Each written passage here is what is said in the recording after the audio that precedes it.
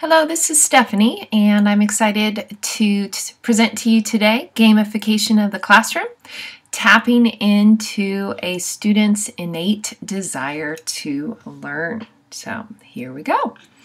First of all, I'm going to talk to you about the context of the pilot. Uh, my pilot was presented in sixth of my eighth grade classes. Uh, it was during our final Cold War unit. What you see right there is actually some of my students as they were leading a protest of the Vietnam War. I got very into it. It was a two week pilot.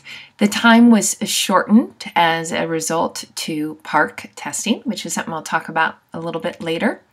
And I collected and analyzed data from my students, and I also received input and feedback from two of my teachers who implemented their own version of my curriculum. All right, the parameters of the curriculum. What you have in front of you here is an example of the template, which I will be going over. My goal when I began developing this curriculum was to create a plug and play template that could be used by any teacher to gamify their classroom. I was inspired by a quote by James Paul Gee in Matthew Farber's book, Gamify Your Classroom. And he states, that teaching is a design process if you let teachers be professional. What we've done is deprofessionalize them by writing a script for them and giving them a test booklet or a game or orders of what to do. My desire was to treat teachers as professionals and to give them a tool, a template, which they could use to reflect upon what was taking place in the classroom, what the kids were learning, and then use that information and iterate as necessary. The template explains the process of developing objectives, a journey, and quests. So I'm going to go ahead and walk you through that right now.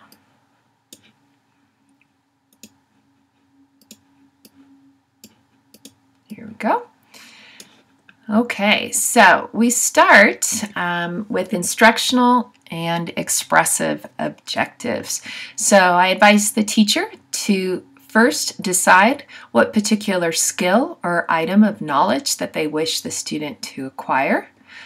And I have found that those, for example, for me, would be the core knowledge objectives or the state of Colorado objectives for eighth grade.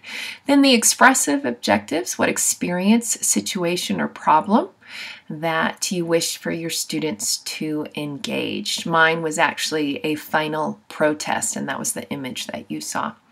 Then, an essential part of gamification is actually acknowledging learning styles. And I have a survey that teachers can use in order to determine what are the learning styles of their students visual, auditory, or kinesthetic. Now, a teacher may want to write down which students fall into the category, or simply this can be a reminder that this is something that they need to acknowledge and establish. This could also be where they write down where the um, which guild each student is in. All right, the learning activities. So, creating the journey. When I first began this process, I personally thought the journey would be the most challenging aspect of the curriculum. But after working with my colleagues, they shared with me that the journey was actually the easiest and the most enjoyable. So I devised a five W questions in order to help a teacher determine or create the journey. Why? What is the objective of the journey? Why should your students take this journey? Journey. What? What is the conflict? Who? Who are the main characters? Where is this conflict? And when does the conflict take place? Now, I did have one colleague share with me that she actually preferred to write the journey after she wrote the quests. Now, the other teacher said she preferred to write the journey beforehand.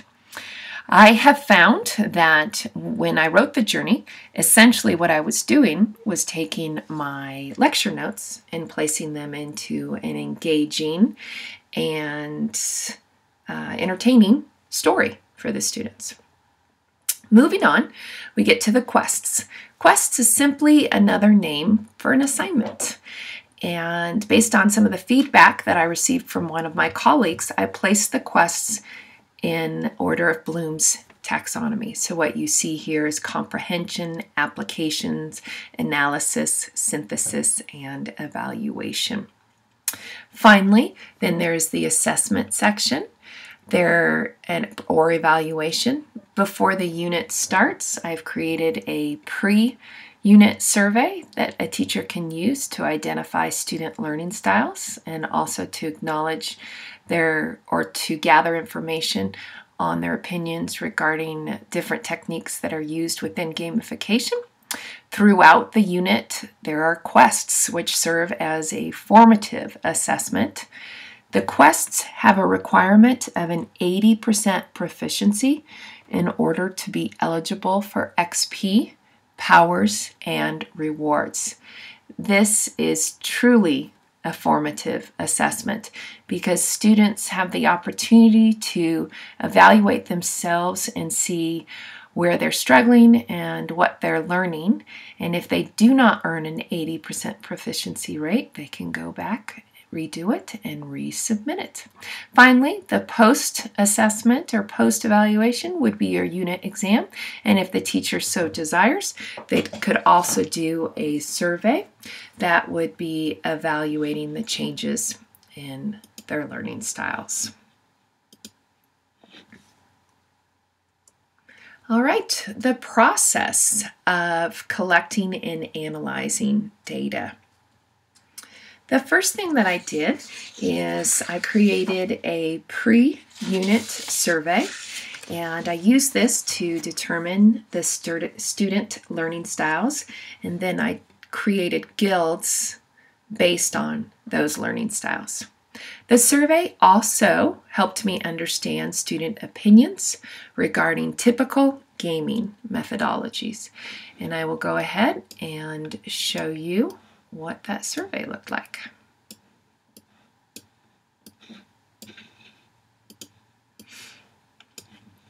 The first two questions of the survey address the learning styles.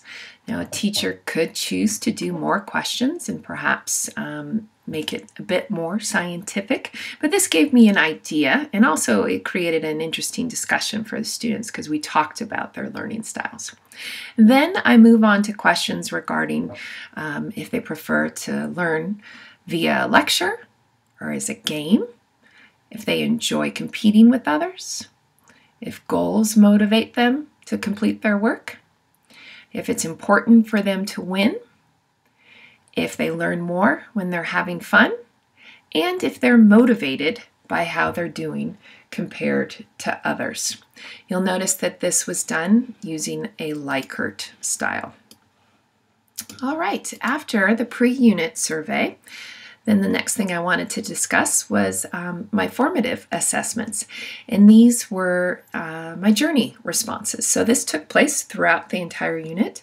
There were four journeys that the students took, I guess you could say. And I'm going to go ahead and show you what those looked like. So what you see right here in front of you is our LMS, our Learning Management System, Canvas. And we put all, we place all our lectures and our homework and assignments, etc., etc., and discussions here on Canvas. And this right in front of you right now, as the title says, is the last stage of the journey. And each one had a little bit of a story. And as I mentioned earlier, the stories ended up being a way that I could incorporate lecture information. And then, in addition, there was always a question. And this question helped me to evaluate the students and understand where they were at in their learning, and then for me to decide what changes I needed to make the next day in my class. Now, I wanted to go ahead and discuss some of the adaptations that I made here. I will address those more in my next slide, but one thing that I noticed is initially I had students answer the questions, like right here, on Canvas as an assignment. And it became very overwhelming for me as far as grading, and it was a little bit tedious and overwhelming for the students. And it wasn't serving its purpose really well because its purpose was for me to check their comprehension. So, what you'll see on this one right here is I have a link, and this link actually goes to simply a Google survey that I created. I found this to be a lot easier. So the students simply submitted their answer here. There was no grade, they weren't concerned about it. But I was able to then look at one document and get a bird's eye view of how all my students were doing and then evaluate if I needed to make any changes the next day. Another change that I made is that I ensured each day as a warm up when we were addressing our journeys that the students had time to meet as a guild. One person would read aloud the journey, they would discuss what they thought the answer was, and then they would all submit it together. And some of the data that I'm going to go over a little bit later, you will see that that definitely improved their um, content, uh, retention, and comprehension. All right, so next, after I had my pre unit, my formative, was my end of unit survey. So, what I did is I had a summative assessment regarding the journeys and then also the student opinions regarding gamification methodologies. So, I'm going to go ahead here and show you the end of unit survey that I created here. This is really interesting because what I did here is I created a survey, and this is for my period four, that had this the exact same four questions that the student students answered throughout the unit. And I decided to survey two of my classes. I surveyed my honors class and then I surveyed one of my lowest performing non honors class. And again, these are the exact same questions that the students had to answer after they read each journey. These questions were given to the students a week after the unit ended because after the unit was over, the students went to spring break. The data that I collected on this survey shows the percentage of students that earned a proficiency rate of 80% or above on these journey response questions. In my honors class, 97% of the students achieved proficiency on question 1, 90% on question 2, 90 97% on question 3, and 100% on question 4. In my non honors class, out of 28 students, 89% earned a proficiency on question 1, 82% for question 2, 93% for question 3, and 82% for question 4. It was very encouraging to gather these results and see that even after the week of spring break, the majority of students in my low performing class earned proficiency on the unit content information. All right. Now, lastly, another um, data, well, actually, second to last, another form of data that I collected was from my student advisory board. And what I'm going to show you here is a Google document that I created and my students took part of.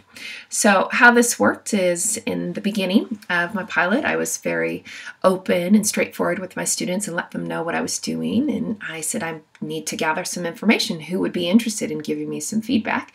I had about 10 students tell me that they were interested, and so I created this document. You'll see I started out the discussion. Initial response to Journey. What are your thoughts? What would you like to stay the same? What would you like to change? Suggestions. And then the students just simply started chatting and giving me their opinions, and it was wonderful. Uh, they're so creative, and uh, I love giving students ownership, and they come up with ideas that personally I would have never thought before. So their comments influenced the changes that I made in the journey, and also uh, the adaptations that I made on uh, my templates and my curriculum. Lastly, peer feedback. One of my teachers said to me, quote, I actually enjoyed writing a unit plan and was able to easily follow it due to the quests and the use of Bloom's taxonomy. All right, curriculum adaptations. I addressed a few and I will talk about a little bit more. These are some of the quotes that I received from the students when I was asking for some feedback on their thoughts. Quote, it was easier to remember because it was given as a story. I remember stories. I like the story, but I wish there was more detail. It's hard for me to understand just small parts of a story. I need the full picture. All right, so what I took away from some of these quotes and some other discussions was that I needed to differentiate the journey journeys and I needed to create levels. One thing I do with my essay tests is the questions are uh, differentiated by levels green, blue, and black, so the ski levels. Students told me they wanted me to do the same, to have harder levels. Some kids just really want to compete in every form that they can. And uh, other students said that they um, or what I learned from the students is that I need to provide the entire journey as an option for some students. As you see from one of the quotes, it was hard for them to understand just a small part. They needed to see the full picture. So perhaps just present the whole journey at the beginning and then go through the parts. Provide opportunities for the students to read the journey or present it in class. One thing I will talk about is uh, how the data shows that when students had an opportunity to read the journeys aloud, they actually retained more information. Due to my time constraints, I was not able to do this for each of the journeys. Ideally, I would have loved to have some of my students perform it in front of the class because I have uh, several kinesthetic learners that prefer that methodology. So that would be an adaptation. Lastly, gamification as a choice. And here I want to go to a um, survey that I took on SurveyMonkey. And I took this at the end of the unit and asked a variety of different questions. But specifically, what I want to focus on right now is uh, the idea of games and competition. Um, so, looking at this one right here, I learn best when the lesson is presented as a game. We're seeing 24% and 12% strongly agree. So, 36%. But then we have a 33 undecided, and it's important to recognize we have 24 and 5, so 30% that are in the disagree. So, that as a teacher, it's important that we acknowledge perhaps this is not the right methodology for all students. Now, I enjoy competing with others a strong majority of um, that enjoy competing with each others. But again, it is important as a teacher to respect that there's 17% that do not.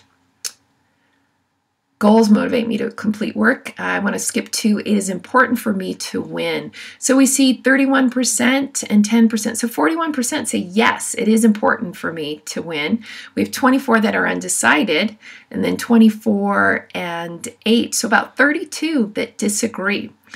So, as a teacher, it is essential, again, to recognize that minority that's there, motivated by how I'm doing compared to others 33 and 24. So significant. And then a significant undecided, very small minority that is in the disagree section. So, my point being with this information is that gamification needs to be presented as a choice. I personally, in my classroom, provide it as a choice. Those students that want to earn powers and rewards and badges can, and it does not affect their grade in any way. And but what I've seen is that those students are the ones that are more motivated to learn and are more successful and do retain more information. Also, gamification as a choice or differentiate gamification for teachers. One of my peers said she loves the journeys, she loves the quests, but she is daunted about the idea of keeping track of the XP and the badges and the rewards. And there are simplified manners to do that, whether it just be a sticker, sticker, sticker chart or you create a Google document that everybody puts their information on. So there are modifications for that.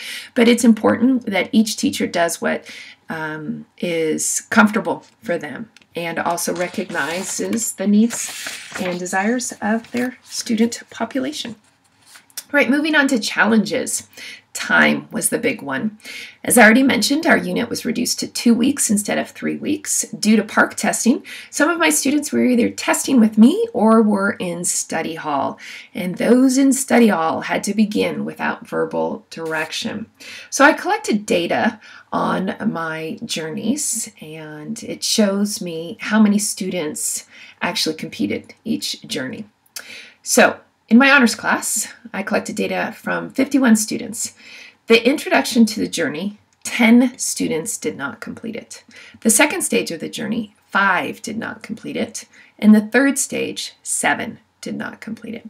For my non honors students, I collected data from 109 students.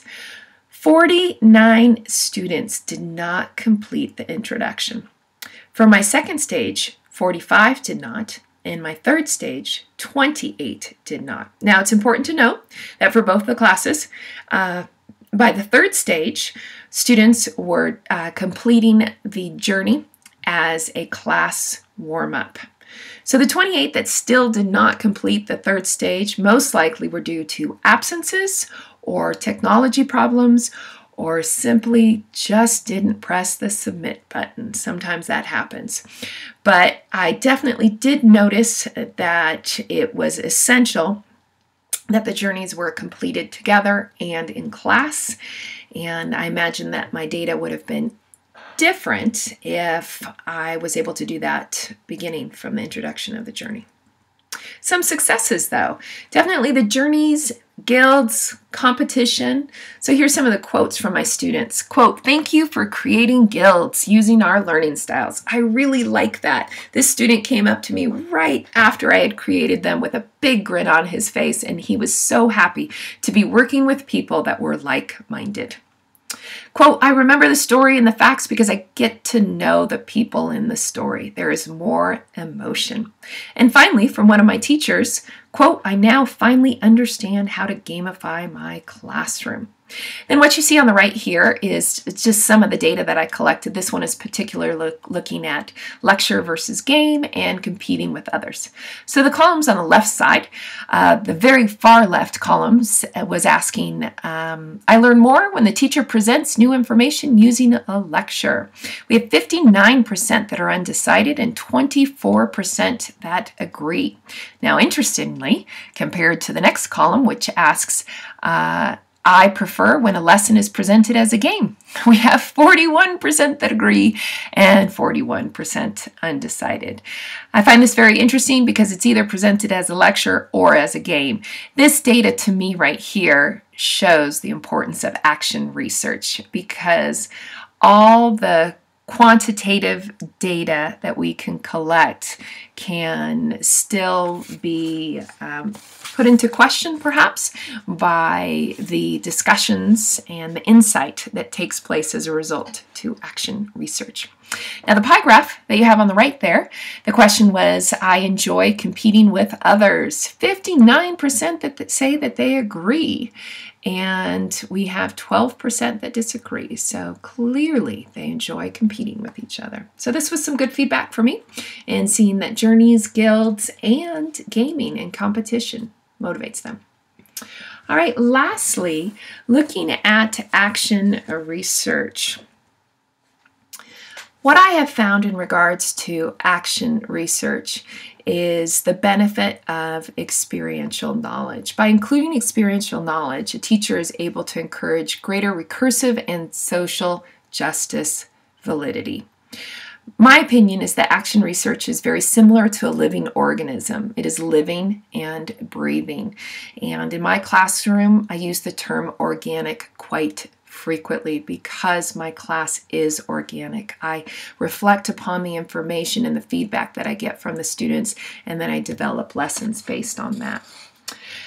Action research, as cited in Pine, quote, is an iterative process in which knowledge arises from an examination of practice. I believe that this iterative process can only be done within the classroom while the program is being experienced. So, not from the ivory tower, as you see in the image on the slide.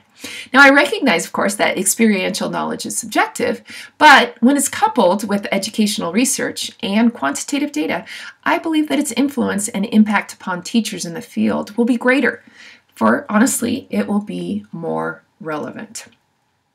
Also, action research allows teachers to reflect upon daily encounters, which are essential. Pine describes observation as being, quote, fundamental for effective teaching, teaching for teacher decision making and for making judgments.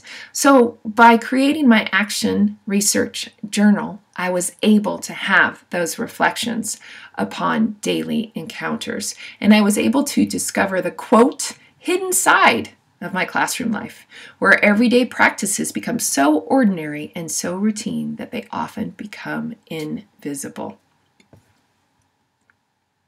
Lastly, I find that action research is responsive. And as Pine states, quote, it is through the observer's encounter with the event that multiplicity of meanings emerges. Subsequent reflection on documented observation can generate a richer understanding of the multiple meanings found in the situation.